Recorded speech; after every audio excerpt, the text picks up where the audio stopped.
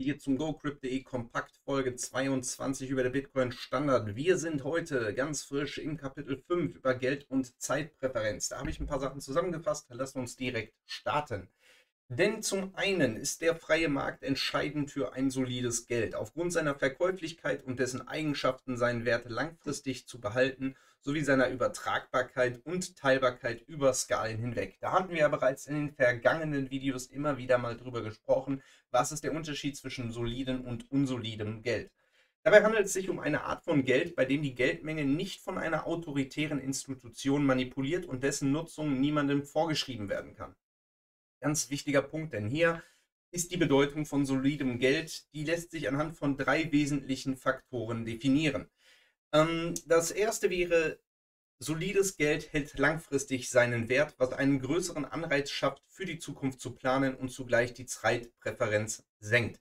Die Senkung dieser Zeitpräferenz ist es, die den Prozess der menschlichen Zivilisation einleitet und es uns ermöglicht, zusammenzuarbeiten, zu gedeihen und in Frieden miteinander zu leben. Ganz wichtiger Punkt.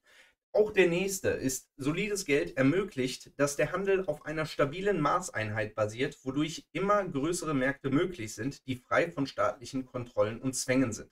Auch hier ist es ganz wichtig, denn mit diesem freien Handel stellt sich Frieden und Wohlstand ein. Darüber hinaus ist eine Abrechnungseinheit für alle Formen der wirtschaftlichen Kalkulationen und Planungen unerlässlich.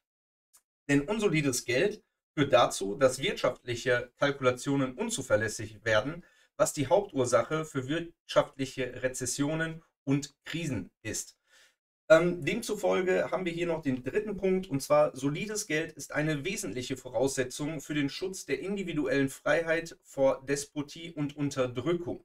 Denn ein unterdrückender Staat hat die Möglichkeit, Geld zu drucken, ohne Begrenzung was ihm eine unangemessene Macht über seine Bürger verleiht. Und jeder kann das irgendwo nachvollziehen, denn ich nehme da immer ganz gerne diesen Vergleich mit Geld ist eine Art Kette ähm, der Sklaverei. Hört sich natürlich jetzt ziemlich krass an, aber wenn man sich das Ganze mal wirklich philosophisch betrachtet und äh, darauf hinausbricht, dann ist es nämlich genau so. Und ähm, wie gesagt, diese unangemessene Macht über seine Bürger ähm, wäre dann eine Macht, die von Natur aus verabscheuungswürdige und hochgradig unmoralische Subjekte anzieht.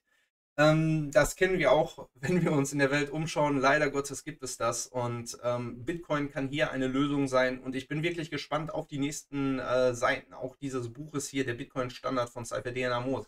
Ich würde mich freuen, wenn ihr auch beim nächsten Mal wieder mit dabei seid. Und falls ihr noch kein Abo dagelassen habt, tut das doch mal gerne.